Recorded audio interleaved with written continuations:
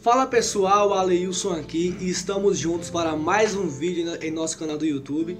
E em nosso vídeo de hoje nós iremos falar sobre os 10 mandamentos. Qual que é o objetivo dos 10 mandamentos e para que que Deus deixou os 10 mandamentos? Essa será a temática de nosso vídeo de hoje. Então, antes da gente, antes da gente entrar no conteúdo, eu peço para você que já vá deixando seu like, se você chegou agora aqui. Se inscreve no nosso canal, meu filho, se inscreve aqui porque todo dia às 18 horas e 7 minutos tem um novo vídeo para abençoar a sua vida. Então, não perde tempo, clica aqui nesse botãozinho vermelho, se inscreve, porque todo dia estamos trabalhando para trazer um novo vídeo aqui para abençoar a sua vida, tá? Também peço a você que compartilhe, gente, compartilhe nosso conteúdo aí lá no WhatsApp, lá no, no Facebook, para que a nossa mensagem possa chegar mais longe, tá ok? E a última coisa que eu te peço é que você olhe aqui na descrição desse vídeo, também nos comentários, que eu estarei deixando os links dos meus livros digitais que eu escrevi para ajudar você na sua trajetória cristã, na sua vida cristã. Né? Então, os links deles, dos meus livros digitais, estão aí na descrição e também nos comentários, tá? Então, simbora para o vídeo. Vamos lá. Em Êxodo 20, claro, eu não vou citar todos, mas em Êxodo 20, Deus ele, ele descreve para Moisés os dez mandamentos. E sabe qual que é o objetivo dos dez mandamentos? Sabe para que que Deus deixou os dez mandamentos? Para proteger nós de nós mesmos. Quantas vezes, eu digo por mim, eu já pensei em fazer coisas absurdas. Claro, antes de eu ser crente, né, gente? é, eu pensava coisas absurdas. Mas eu não sabia o que eu sei hoje da Bíblia, mas eu, eu tinha noção do que era certo e errado. Tinha essa noção. E se eu é, tivesse feito aquilo que eu pensava em fazer, menino, eu estava nem, eu tava nem vivo hoje. Então, a função dos dez mandamentos, a função da lei de Deus é proteger nós de nós mesmos. Porque se a gente vivermos em um ambiente sem leis, nós estamos perdidos com leis. A gente já está no que está, imagina se não tivesse leis. Então, a lei dos dez mandamentos é para proteger a nós, tá? É para proteger a nós de nós mesmos. Eu também comparo os Dez Mandamentos como uma cerca, como um muro de proteção. Que se a gente estivermos dentro dessa cerca, dentro desse muro de proteção, estaremos seguros. Mas a partir do momento que a gente pular fora dessa cerca, a partir do momento que a gente pular fora desse muro de proteção, nós estaremos desprotegidos. Então, quando a gente quebramos algum dos mandamentos de Deus, a gente estamos pulando essa cerca. E não adianta. E não adianta a gente tentar culpar a Deus.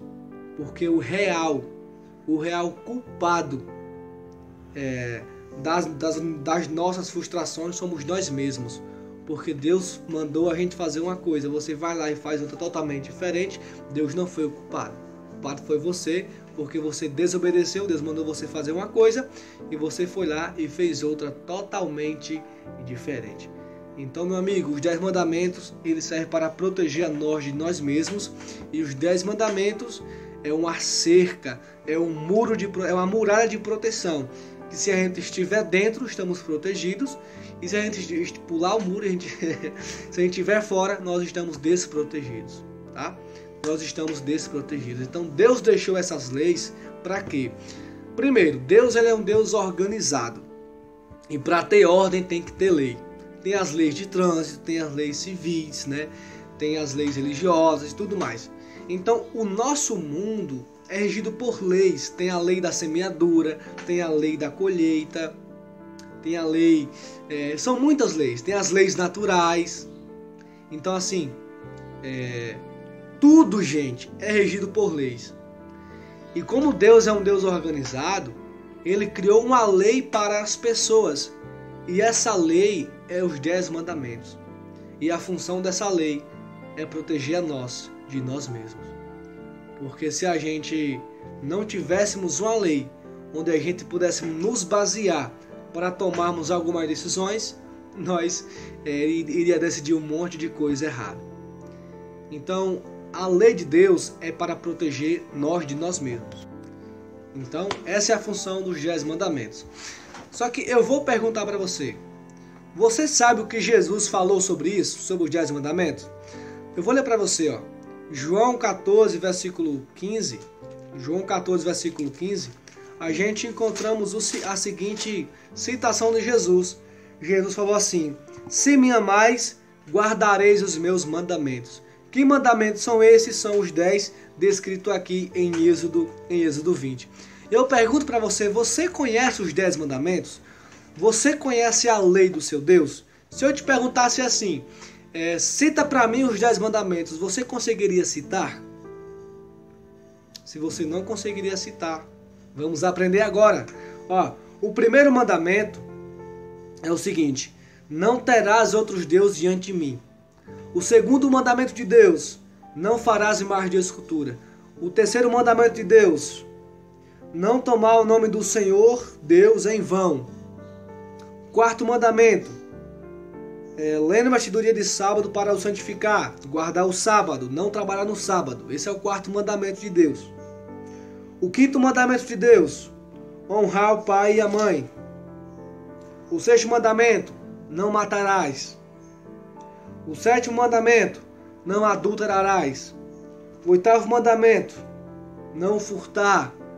O nono: não dizer falso testemunho contra o teu próximo não mentir, em outras palavras. E o décimo é não cobiçar a casa do teu próximo. Esses são os dez mandamentos que Deus deixou para organizar o seu povo. gente, Deus ele, ele é muito estratégico. Deus ele pensa em tudo. Gente, já imaginou? Tudo no mundo tem lei, menos o povo de Deus. Olha que negócio. E tem gente que diz que os dez mandamentos passam o que a gente não precisa. Gente, isso é uma heresia meu Deus. Tudo na lei. Tem lei de trânsito, tem lei natural, tem lei de tudo. Agora Deus não tem lei. Não faz sentido. Entendeu? Então a função do dez mandamentos é para organizar o povo. Gente, tudo tem que ter lei. Eu não posso falar um palavrão contra você. Eu não posso desrespeitar você. Eu não posso manchar a sua imagem perante a sociedade. Que se eu fizer isso, você pode me processar eu posso indenizar, aliás, eu posso pagar você e ainda posso ser preso. Por quê? Porque eu quebrei uma lei contra um indivíduo. Eu manchei a sua imagem perante a sociedade e, e, e não é verdade. Eu, eu, eu inventei uma história, aqui um exemplo, tá? Um exemplo, gente. Eu inventei uma história passo já, passo já o seu nome, sendo que você é inocente, você prova que você é inocente, eu te pago pelo que eu te fiz, ainda sou preso. Olha que negócio. Então, Deus ele deixou leis para organizar o seu povo, para proteger o seu povo, para que é, as pessoas sejam obedientes. Então, a função dos dez mandamentos é proteger nós de nós mesmos. E eu comparo os dez mandamentos como uma cerca, como um muro de proteção, para que se a, se a gente estivermos dentro do muro, dentro da cerca, nós estaremos protegidos. Mas se em algum momento a gente sair dela, sair é, da cerca, sair de dentro do muro, nós estaremos desprotegidos. A mensagem desse vídeo, a mensagem desse vídeo, meu caro irmão e minha irmã, é que você obedeça aos dez mandamentos. Êxodo 20, está lá os dez mandamentos, um por um. Está lá os dez mandamentos. E a função dos dez mandamentos, meus queridos, é nos proteger de nós mesmos. E é uma muralha que protege a gente. Então a mensagem que eu passo para você nesse vídeo é vale a pena guardar os dez mandamentos. Vale a pena ser obediente a Deus. E se a gente, se a gente diz que amamos a Ele, logo a prova disso é que devemos obedecer aos seus mandamentos. E agora, já que a gente aprendemos essas coisas, agora eu pergunto para você: você está disposto, você está disposto a se esforçar para ser obedi obediente? Você está disposto a se esforçar para guardar os dez mandamentos de Deus? Você está disposto a fazer isso? Então põe aqui nos comentários, Alailson, a partir de hoje eu vou me esforçar para ser obediente a Deus. Se é isso que você quer, amém, Deus seja louvado. Eu ponho aqui nos comentários, Aleilson, a partir de hoje eu vou observar mais, eu vou guardar mais, eu vou ser mais obediente a Deus. Se é isso que você quer, põe aqui nos comentários. E pessoal, esse aqui, esse aqui foi o nosso vídeo de hoje, tá? Hoje aprendemos sobre os 10 mandamentos e que nós devemos guardar, que os 10 mandamentos é uma muralha de proteção, ele, é ele a função do, dos 10 mandamentos é proteger nós de, de, de, de, nós mesmos. Eita, quase que não sai agora, né? A função dos 10 mandamentos é, é, proteger nós de nós mesmos. Agora saiu. então, mas, gente, vou ficando por aqui, tá? Não esqueça de deixar o seu like não esqueça de compartilhar esse vídeo, se inscreva se caso você não é inscrito ainda. E os links dos meus livros digitais que eu escrevi para ajudar você na sua câmera cristã estarão aqui tanto na descrição do vídeo como também nos comentários. Vão lá, é, adquira os livros que eu tenho certeza que vão ajudar muito você na sua caminhada cristã, tá ok? Eu vou ficando por aqui, te aguardo no nosso próximo vídeo onde iremos aprender mais da palavra do Senhor e até breve.